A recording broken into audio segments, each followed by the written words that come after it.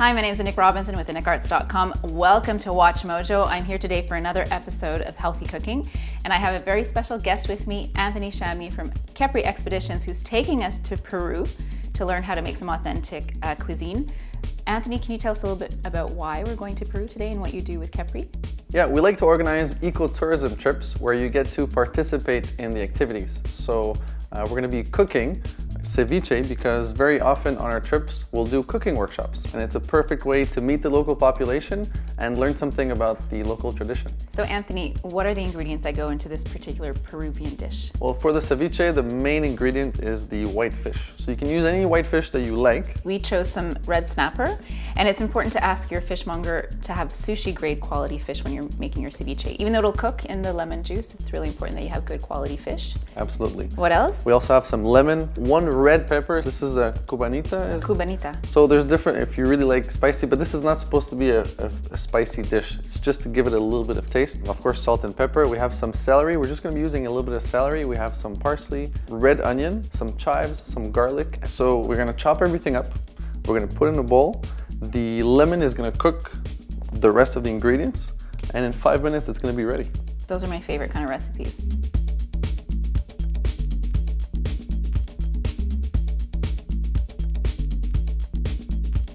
So now that we've cubed the fish, mm -hmm. it's time for the second ingredient, which is the lime juice. Right. Now, I'm gonna cut the limes, but Anthony's really particular about how to squeeze the limes. Well, that's only because uh, Peruvian experts that are making ceviche are, are, always mentioning how you have to watch out not to get too much of the skin because of the bitterness of the skin in the lemon juice. So I'm gonna use a fork to make it easier.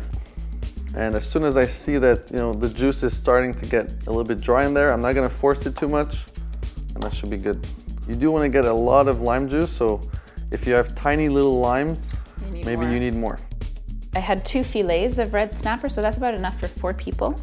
And so we're doing about, I'd say one lemon per portion, or lime. Peruvians use lime in their recipe Absolutely. as opposed to lemon. Yes. So now that we've done squeezing the limes, we're going to chop our cubanita. Right. But we're not going to use a lot of this, right? Because no. it's, going to give us a lot of heat. Yeah, so depending on your pepper, if it's if it's really hot, you don't want to use all of it, definitely. So what's interesting about using hot peppers in cooking is that, it, did you know it's one of the only thermoactive ingredients that actually boosts your metabolism. Did you know that for people that have digestive issues, if they're a result of bad bacteria in the digestive tract, eating hot peppers will actually help kill bad bacteria in your digestive tract and it's actually good for people who have issues with digestion. How much red onion do we need for this recipe? You have a lot of fish there, so we have a lot of onion. So about the same same proportion, I'd say at least. Okay, so for this recipe, we want to make sure that we're chopping the onion super thin. Yep, as thin as possible. Paper thin. Mm -hmm. There's a lot of onion, but it's not as if it's a recipe for people that eat onions raw or anything like that. You won't taste it. It's mild. It's yeah. mild because of the way it's cooked in the lime juice.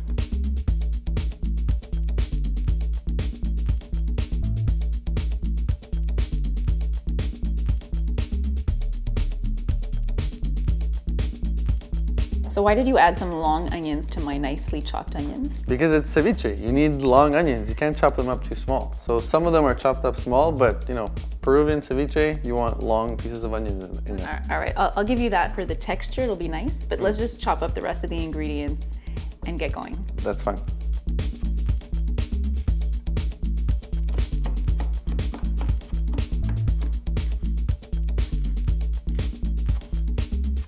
You want to have everything ready, chopped up, so that once your guests are over, you can then focus on them and then when you're ready to eat you can just put it together five minutes of cooking in the lime and then you can eat it. You did mention that it's important that we put the salt in before the lime yeah. to prepare the fish. Yeah let's get the salt on the fish first. That's the important order and then everything else we can add as we go. All right let's do that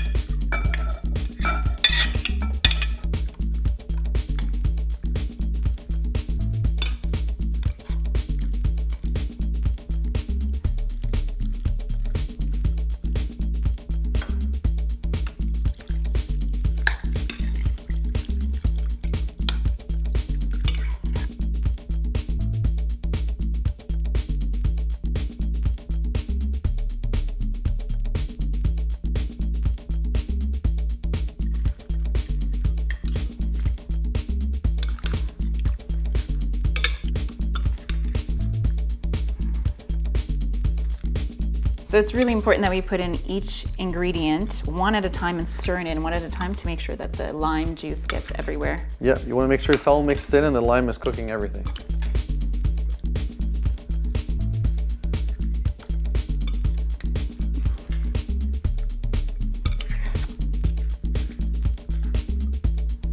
So now that the lime juice has saturated everything, the next step is to let it sit for five full minutes before we eat it. Yeah, so this is actually cooking right now. So we're gonna let it sit five minutes and then we'll be able to devour. So our ceviche is now ready to eat. It only took a couple of minutes, five minutes of cooking time and just a couple of minutes of assembly time. Yep. But Anthony, um, why do you have a glass there? Oh, well, this is leche de tigre, so it's like tiger's milk, they call it. It's a free shooter you get from making ceviche, and it's supposed to be a very potent shot of this whole mixture here. With many health benefits that I'm gonna let you enjoy, Anthony. Thank you very much. Bottoms up. Good stuff. well, thank you for watching WatchMojo.com. Join us again next time for more cooking recipes that'll keep you healthy and uh, feeling like a tiger.